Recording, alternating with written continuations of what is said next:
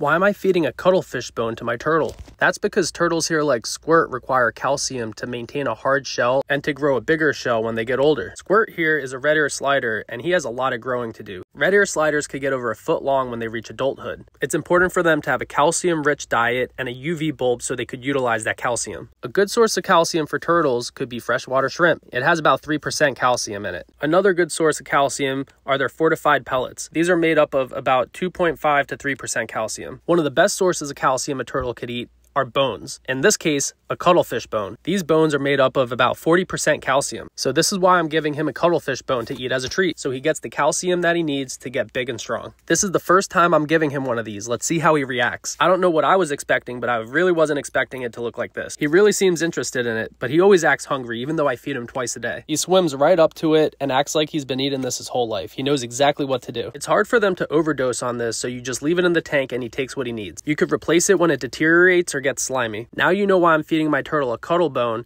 and now you know how to keep your turtle healthy.